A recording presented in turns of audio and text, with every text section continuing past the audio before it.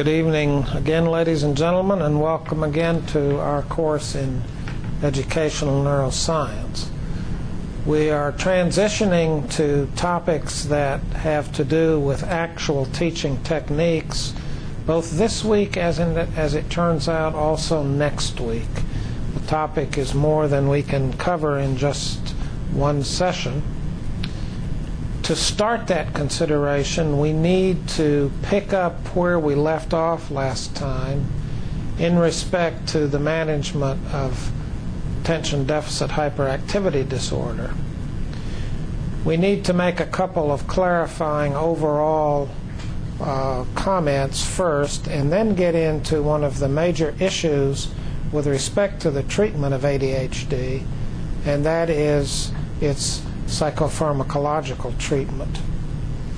Let's begin with the distinction between inattentive only and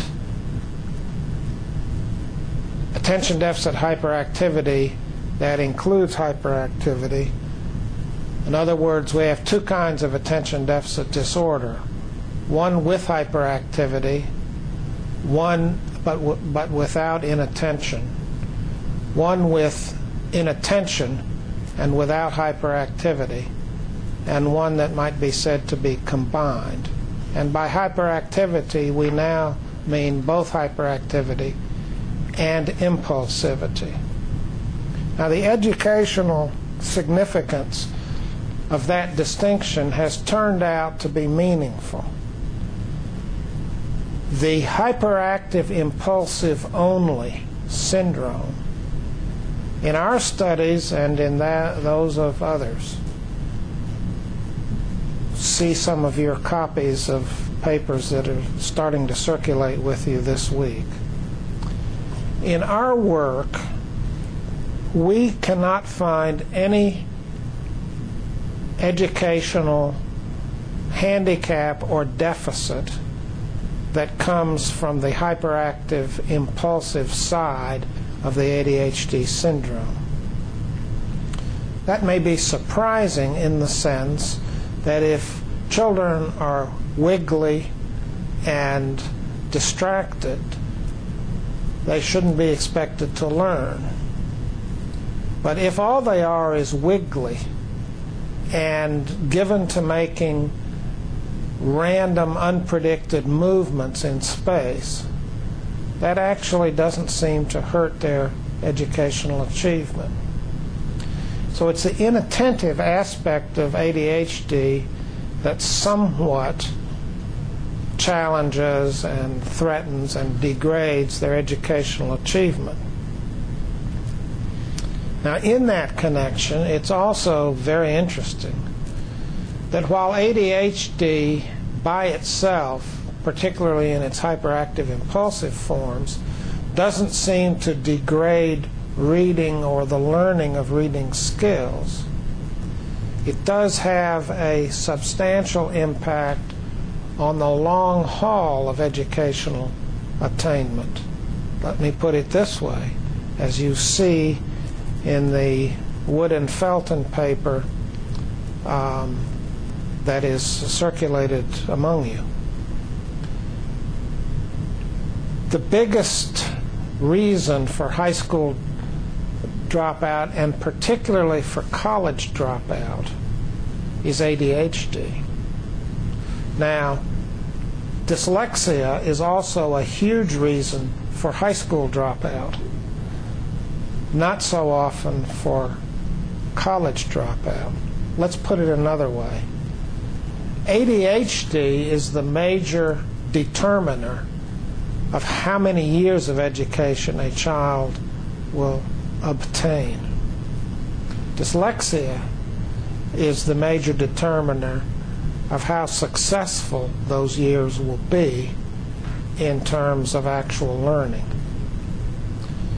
With that aside, and as a matter for discussion when we have a time to discuss it, let's go now to the issue of the educational management of psychopharmacy.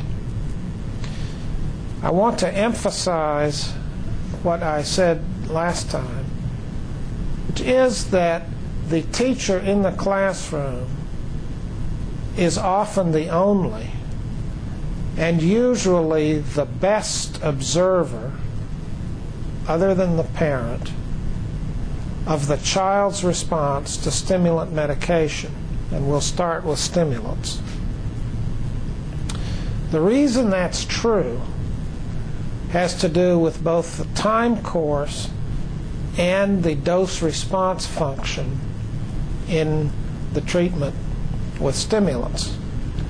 I need to emphasize then that you will be in a position routinely in the classroom to inform the educational management by psychopharmacy of your children, or put less clumsily, you contribute information that must be used by the physician in the dosing of stimulant medications and by the parents in actual use of it. And that, that um, contribution we'll look at in some detail momentarily. But let's begin with stimulants and let's begin there with Ritalin or methylphenidate and its more recent um, formulation, which is, excuse me, Concerta. The only difference between Ritalin and Concerta has to do with the time course of the release of the drug into the bloodstream, a matter which we'll look at momentarily. Ritalin is gone from the body in four hours. If not from the body, at least from any behavioral effect you can see some of it out to eight hours in the chemistry. You can know that it was there, that it was given in the morning, eight or ten hours later, but it has no behavioral effect after four hours. If there are exceptions to that rule, and I have seen maybe two or three in my lifetime, then they are extremely rare exceptions, not worth entertaining. The working rule is the pill they take at 8 o'clock is gone by noon.